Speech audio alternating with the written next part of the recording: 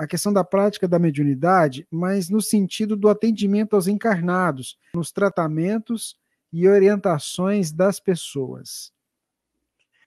Sim, na verdade, o trabalho mediúnico ele não é simplesmente para o socorro aos desencarnados, ele é orientação para o grupo.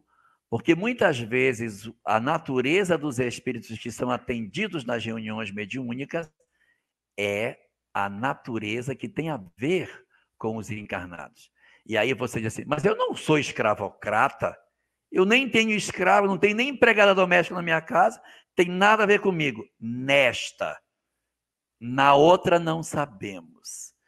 Então a gente às vezes recepciona na reunião mediúnica histórias espirituais que de alguma maneira têm eco conosco mesmo. E por que isso é feito?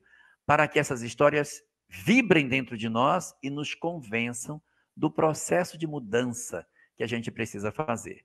Eu não estou dizendo com isso que obrigatoriamente toda comunicação tem a ver com a história do grupo, mas é muito usual que os espíritos trazidos tenham alguma coisa a ver com a história espiritual de algum dos elementos que constituem esse grupo mediúnico. Mas, evidentemente, pode acontecer histórias que não tenham vínculo com eles, mas que o grupo serve de espaço para acolhimento e tratamento dessas entidades, pela necessidade e pelo preparo que o grupo apresenta para socorrer é, esses espíritos. Mas, em todo caso, o trabalho mediúnico feito na casa espírita, ele tem um, fa um fator educacional muito forte para o grupo mediúnico, que ali reflete sobre sua própria história e ganha força para vencer as suas dificuldades morais e conseguir avançar na sua transformação.